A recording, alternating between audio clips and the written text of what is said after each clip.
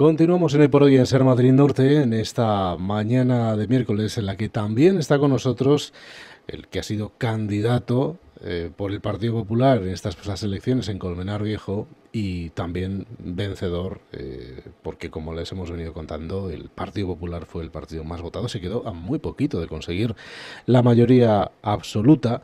Carlos Blázquez, ¿qué tal? Buenos días. ¿Qué tal? Muy buenos días a todos. Eh, que queda ahí a lo mejor esa cosa, ¿no? De decir, lo rozaron, esa mayoría absoluta, eh, los resultados muy buenos, pero bueno, quizá a lo mejor eh, queda esa, esa espinita un poco, ¿no?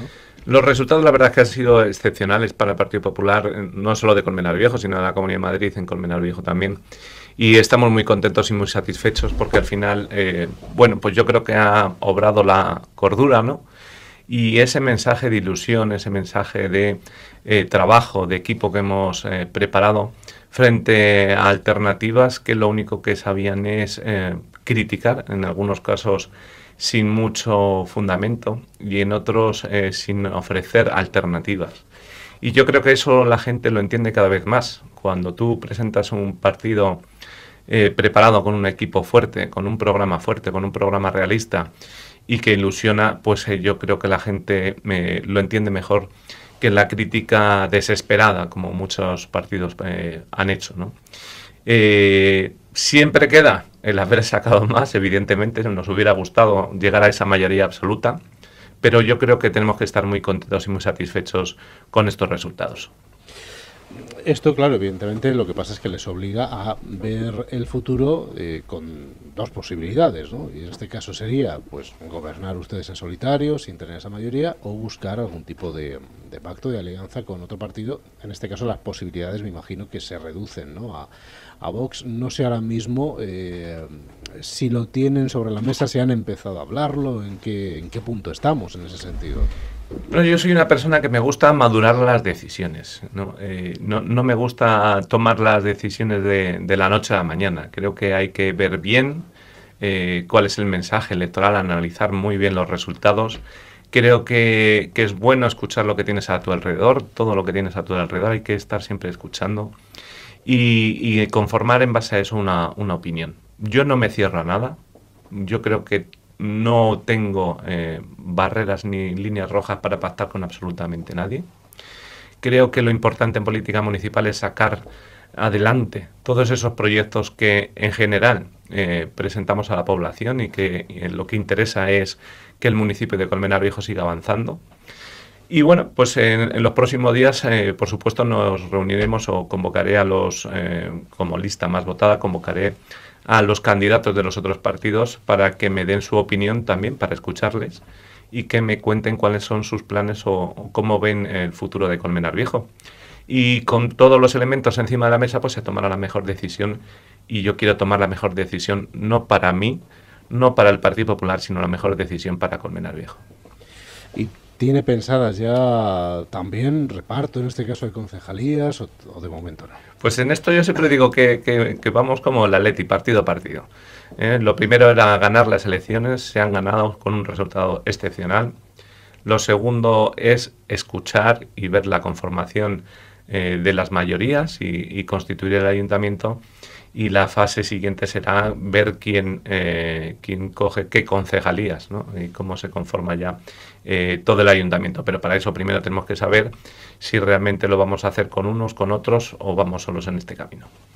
Eh, solemos preguntar, pues, primeras medidas que se van a tomar. En este caso creo que es más sencillo, ¿no? Porque, porque usted conoce el mm. ayuntamiento por dentro, conoce la situación también actual, ¿no? De, tanto económica como de muchas otras cuestiones. No sé si por eso es más sencillo, ¿no? Este, este proceso, digamos. te tengo que dar la razón, es decir, eh, yo no soy una persona ajena, yo de hecho en esta campaña lo que he vendido es sobre todo formación y experiencia. Eh, a mí no me es ajeno eh, nada de la política en la cual creo que he pasado por muchas concejalías, tengo diferentes experiencias en diferentes departamentos y eso al final me da una visión eh, muy completa de qué es lo que es necesario ahora. Y, esta constitución de los ayuntamientos eh, para mí no me da, eh, es decir, no me quita el sueño, es algo que está totalmente en mi cabeza, cuáles son los pasos que tenemos que dar y, en qué momentos. Con lo cual, eh, bueno, pues lo afronto con tranquilidad, con normalidad y como simplemente un paso eh, más en este, en este procedimiento. Y dice ideas, ¿y qué es lo que quieres hacer lo primero? Pues la verdad es que estoy deseando eh, constituir el ayuntamiento el 17 y ser alcalde ese día para... Uno de los que más ilusión me hace es por fin eh, ponerme a trabajar eh, para hacer ese centro de mayores en, el casco histórico. Me hace mucha ilusión. Creo que los eh, más mayores lo necesitan y nos vamos a poner a trabajar corriendo con ello. Y junto con el plan general o la plaza de toros son cosas que para mí son fundamentales. Creo que hay que transformar Colmenar. Creo que hay que buscar espacios de convivencia, espacios donde se puedan organizar eventos que ahora no los tenemos, con lo cual eh, eh, por ahí irán los tiros seguramente. Hemos hablado evidentemente de posibles eh, alianzas o, bueno, una situación en la que usted gobierne. En cualquier caso, después de estos resultados electorales, ¿está tranquilo en el sentido de que cree que va a ser, a pesar de que lógicamente va a tener la oposición trabajando, pero está tranquilo con estos resultados, es decir, va a ser una legislatura en positivo? ¿La ve de esta manera? ¿Cree que va a ser sencillo la relación con, con el resto de partidos?